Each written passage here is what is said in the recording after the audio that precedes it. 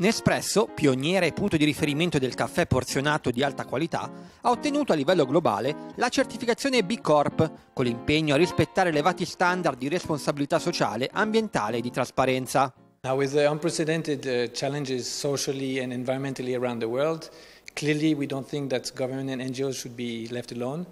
And we really believe that you know, the private sector has a very strong, strong role to play uh, to contribute, uh, contributing to this, uh, to this challenge.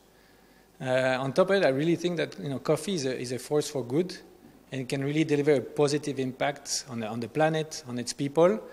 And if you look at our value chain, we are really putting in place different projects, be it on regenerative culture, on uh, eco design, on, um, for example, also recycling projects that really help and give a strong and positive impact to the coffee communities as well as to the, to the environment in itself.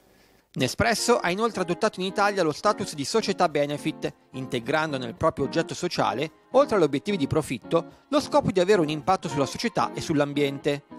Recentemente le aziende che hanno raggiunto la certificazione B Corp sono diventate 5.000, accelerando verso una nuova direzione più sostenibile e responsabile. Sì, sono diventate 5.000 le aziende B Corp nel mondo. Pensate che solo poco tempo fa, poco prima della pandemia, erano soltanto 2.500, sono raddoppiate nell'ultimo due anni.